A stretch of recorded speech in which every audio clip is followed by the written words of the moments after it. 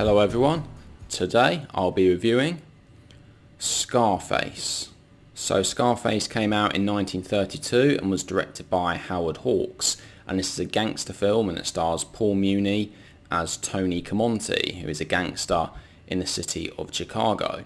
So this is one of those really early classic gangster movies along with ones like The Public Enemy and Little Caesar and in this film Tony Camonte is a really ruthless character um, quite an unlikable protagonist in many ways um, but he starts to deal with bootlegging really sort of selling and buying alcohol because obviously during this time prohibition was still a thing in America obviously alcohol was illegal at the time and it wasn't lifted until the year after in 1933. Tony Camonte, he really has lots of rivalry with lots of other gangs um, uh, um, in this film. So um, in a lot of ways, this is a, very predictable gangster film. It's uh, fairly straightforward. Going into it, it was very much what I expected. But that's not necessarily a bad thing because it did mean that the plot was very easy to follow and it's actually a very entertaining film as well. We've got lots of shootouts and gunfire and things like that, which was actually fairly violent for the time because um, this film actually came out before the Hays Code was introduced in 1934 where they had tougher censorship restrictions um, on lots of film content. I think Paul Muni um, is really excellent as Tony Camonte. Like I said, not a likable character at all, but he's so brilliant to watch on screen. He really puts everything into this performance. Um, he seems to always um, know what he's doing. He's in charge. He does what he wants. He really doesn't care um, about anything. He doesn't care about anybody else at all. You really get the feeling that he's the man in charge and that everyone sort of fears him, but everybody respects him at the same time. We also do get um, a small appearance from the actor Boris Karloff in this film. Um, he plays a character called Gaffney, who is one of the rival gang members, and he actually um, only has a small appearance. I think he only appears in three scenes in the whole film, and it was quite interesting because actually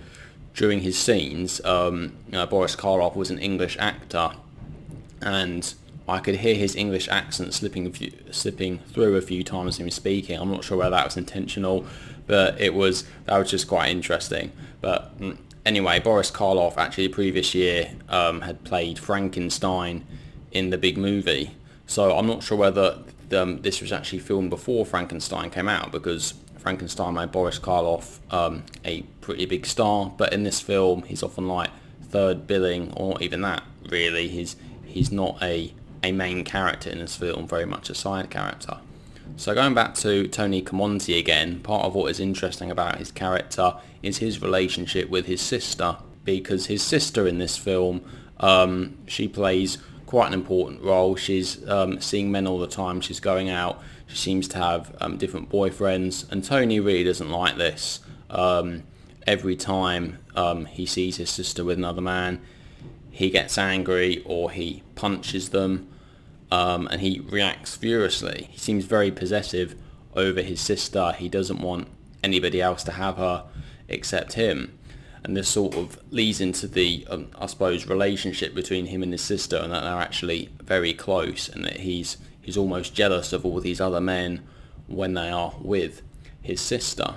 Now having watched this film on the Blu-ray behind me, we have the original theatrical version and we also have the um, alternate censored version which has a different ending. You can probably predict sort of where this film is going and what is going to happen at the end. Um, the characters tend to meet the same fate in both versions, it's just that in a slightly different way um, towards the end. And the reason there was an alternate ending, it was just seen as a bit a bit of a less violent ending, I, suppo- um, I suppose, certainly with the restrictions that they had. Um, in, in fact, this film was very controversial for its time and it was actually banned in quite a lot of cities in America. So when they had the um, alternate ending, that was an ending which was often played after this film was originally released um, after its original theatrical version with the original version. Sorry if I'm not explaining it very well, but um, yeah, basically there's an original theatrical version and an alternate censored version. Really the major difference is the ending. And it is worth saying that actually at the start of this film, this film does have um, a message basically um, condemning the actions of the characters in this film because this film was seen to glamorise violence and glamorise gangsters and in fact this film also did later have a subtitle called The Shame of a Nation uh, basically just to emphasise that the filmmakers don't condone the behaviour of the characters in this film as I said. What I did find interesting is that this film was co-produced by um, Howard Hughes who was an aviator I actually often used to get Howard Hawks and Howard Hughes mixed up. But anyway, Howard Hawks is the film director, but also Howard Hughes, um, who was, well, the aviator, a very rich man, very rich businessman. He also um, co-produced this film as well, so he also had, had an effort in it. And in fact, in um, there was a few early 1930s films in which he also helped produce.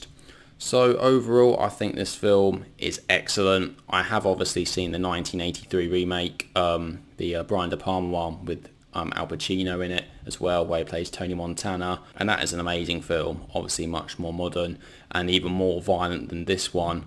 However, I have to say, slightly controversial. I think I do prefer this version to the Al Pacino version. I just think this version is more focused. Um, it feels grittier. Obviously, the Al Pacino version is a fantastic film and certainly going to be a lot more appealing to modern audiences, but certainly as a gangster film, which was, I suppose, pioneering in many ways, I think this 1932 version is brilliant. So if you love your classic gangster films, um, then yes, this certainly needs to be checked out. Although, as I said, the plot is fairly predictable, but that doesn't necessarily uh, mean it's a bad thing. So overall, I'm going to give uh, Scarface a rating of 9 out of 10. Like I said, if you're a fan of classic gangster movies, and this is, well, this is absolutely essential, along with also The Public Enemy and Little Caesar. So there we go, so that is my review of Scarface. So have you guys seen Scarface? This version or the 1983 version? Yeah, you can let me know. So yeah, if you have, please let me know down in the comment section below. Thank you all very much for watching, and I'll see you all in the next video. Take care.